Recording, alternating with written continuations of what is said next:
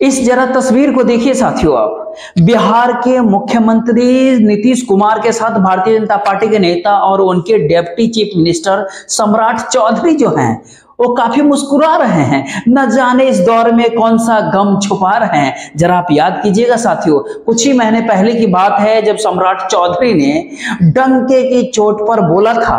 क्या बोला था? कि मैं जो ये पगड़ी मैंने जो लगाई हुई है, ये नीतीश कुमार के मुख्यमंत्री पद से हटने के बाद ही इस पगड़ी को हटाएँगे। आपको याद होगा, उन्होंने ऐसा बोला था, आज उन्हें अपने इस पगड़ी को और कस के बांधना पड़ेगा।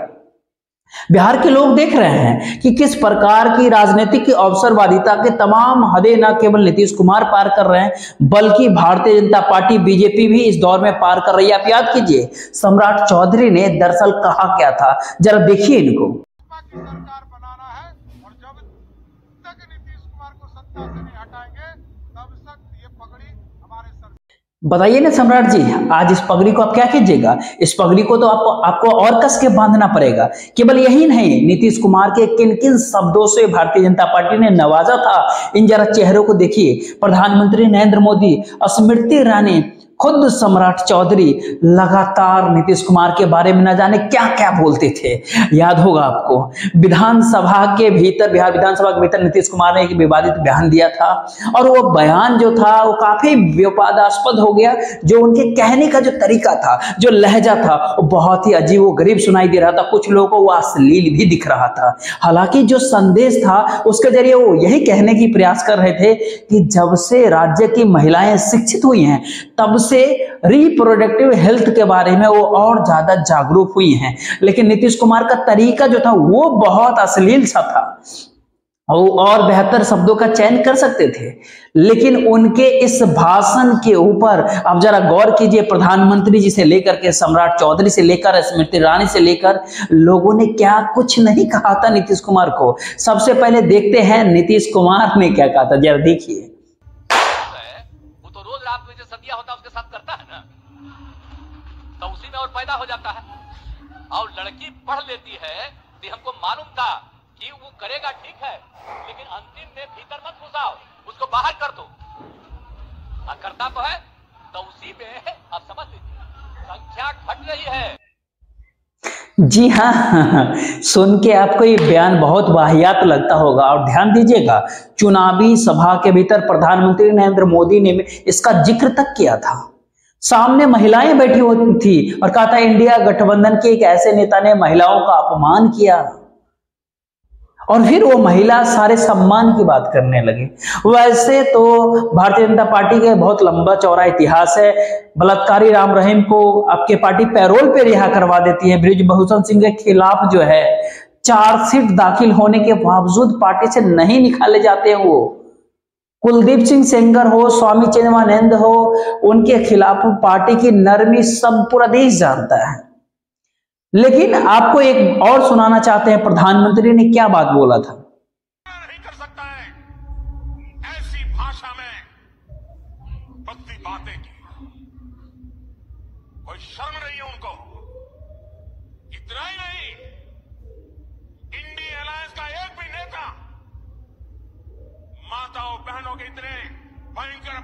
खिलाफ एक शब्द बोलने के लिए तैयार नहीं हुआ। लेकिन एक बात और यहीं पर कि क्या प्रधानमंत्री जी ने जो बात कहा यह राजनीतिक अवसरवादिता है या फिर नहीं है?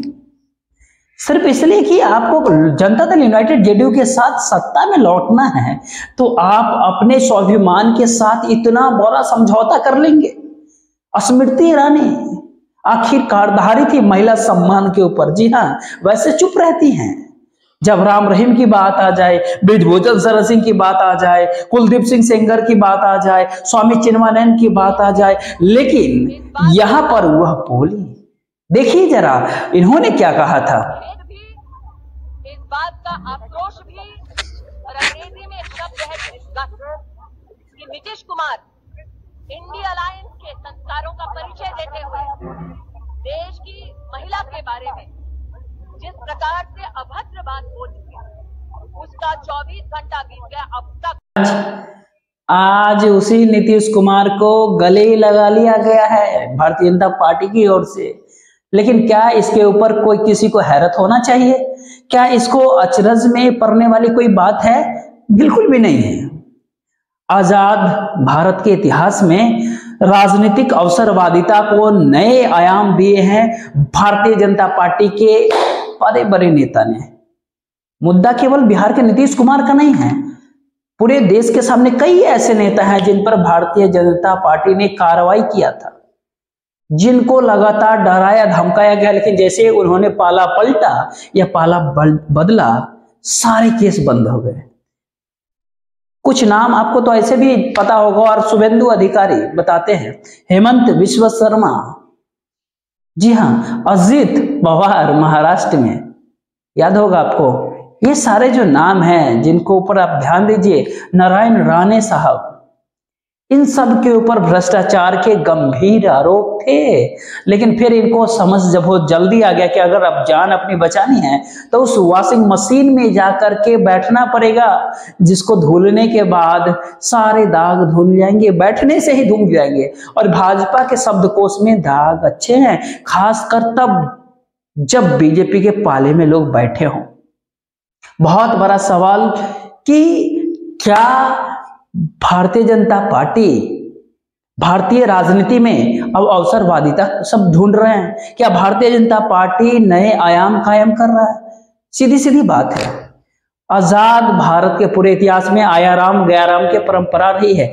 कल इसे मल्लिकार्जुन खड़गे ने बोला भी आया राम और गया राम भारतीय जनता पार्टी जो नैतिकता की बात करती है, पार्टी विद डिफरेंस की बात करती है, आज पूरी तरह से एक्सपोज है। क्योंकि दिखाई पड़ता है कि जिस नीतीश कुमार को लगातार ताने दिए थे, गालियाँ दी थी, न जाने क्या क्या कहा था, महिला विरोधी तक कहा था, आज वो एक बार फिर से मुख्यमंत्री बन गए गठबंधन में, भारतीय जनता पार्टी के गठबंधन में। ये भारतीय राजनीति का सबसे न्यूनतम, सबसे निचला स्तर है। कहते हैं सबसे नीचे का स्तर।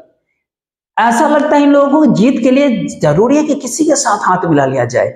विचारधारा नाम की कोई चीज़ नहीं है।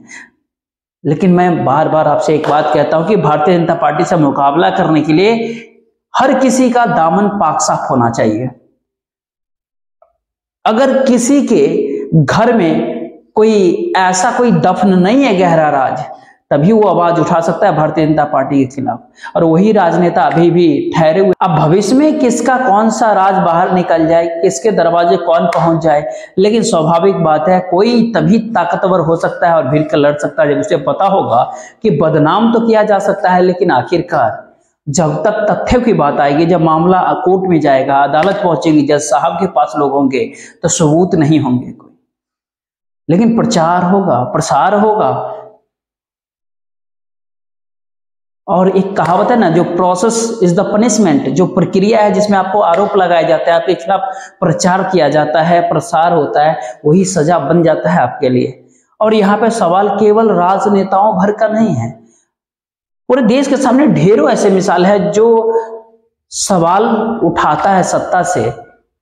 उन्हें भी तो कई तरह के कार्रवाई हुई है, बहुत सारे लोगों पे कार्रवाई हुई है। ये पूरा देश को पता है। और एक इस दौर में बड़े एक मीडिया के बड़े सा खेमा जो है, सत्ता के लिए ही काम करती है। और ऐसा केवल मेरा कहना नहीं है, पूरा देश इस चीज़ के लिए जानता है। कुछ ऐसे भी लोग हैं जिसको बहुत बहुत और मोटे मोटे वसूली करते हुए बहुत सारे पत्रकार है बड़े बड़े टीवी चैनल के, और जेल तक गए। लेकिन ऐसे ऐसे लोग जब सवाल उठाते हैं तो ज़ाहिर सी बात है, दोबारा उनको जेल थोड़ी जाना है। वो तो क्यों सवाल उठाएँगे सत्ता के सामने?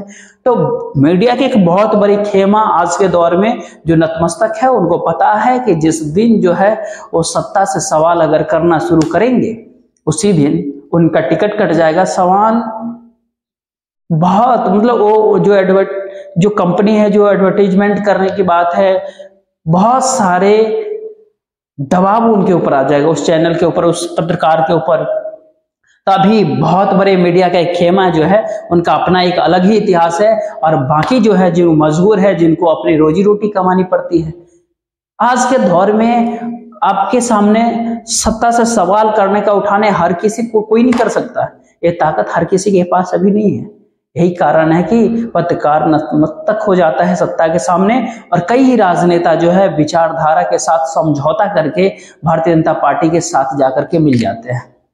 लेकिन एक बहुत बड़ी बात कि खुद भारतीय जनता पार्टी, क्या भारतीय जनता पार्टी को ऐसा नहीं पता है कि आज के दौर में आप सत्ता में जाइए, आज के दौर में आपके साथ, आपके हाथ में पूरी ताकत है, एजेंसी है, पैसा है, प्रचार तंत्र है, पूरा पुलिस प्रशासन है, लेकिन हमेशा नहीं रहेगा। और इतिहास में इस राजनीतिक दल के पार्टी के तौर पे आपको याद किया जाए, वो राजनीतिक दल, वो पॉलिटिकल पार्टी जो केवल सत्ता के लिए, सत्ता में बने रहने के लिए, तमाम हदों को पार करने के लिए तैयार है, तमाम लक्ष्मण रेखाओं को पार करने के लिए तैयार है। वो राजनीतिक दल जो सवालों से बचता रहा, आलोचनाओं से डरते रहते हैं। और यही कारण है कि income tax ED CBI anti terror cell का इस्तेमाल कर दिया जाता है सबके खिलाफ एक्टिविस्ट के खिलाफ, राजनेताओं के खिलाफ। क्योंकि जो प्रचार जो लोगों पे हावी हो जाती है और उस प्रचार से जो है कुछ लोग घबरा जाते हैं, कुछ नेता घबराते हैं और नतीजा पूरा देश के सामने होता है। सच में ये भारतीय राजनीति का एकदम निचला स्तर है। ये संकट का दौर है जहाँ पर राजनीति का कोई मायने मतलब ही नहीं रह गया। प्रधानमंत्री जी मंच पर खड़े होकर के बहुत बड़ी बड़ी बात बोल देते हैं। सच्चाई कुछ और हो जाती है। ध्यान दीजिएगा आप, अमित शाह का क्या बयान था? कि हम नीतीश कुमार के साथ जाएँगे ही नहीं? नीतीश कुमार को कभी आने ही नहीं देंगे? देखिए कर लेता हूँ किसी के भी मन में ये संशय हो कि चुनाव के परिणामों के बाद कि चुनाव के परिणामों के बाद नीतीश बाबू को फिर से भाजपा एनडीए में लेगी तो मैं बिहार की जनता को स्पष्ट कह देना चाहता हूँ और लल्लन बाबू को भी स्पष्ट कहना चाहता हूँ आप लोगों के लिए भाजपा के दरवाजे हमेशा के लिए बंद हो चुके हैं अब क्या हुआ? अब सच्चाई है पूरा देश के सामने। हर किसी हर किसी के सामने तस्वीर साफ़ है पूरा कि आखिर ये लोग हर किस्म का समझौता करने के लिए तैयार है। सत्ता में बरकरार रखने के लिए, सत्ता केवल बरकरार रखने के लिए। जय हिंद, जय भारत।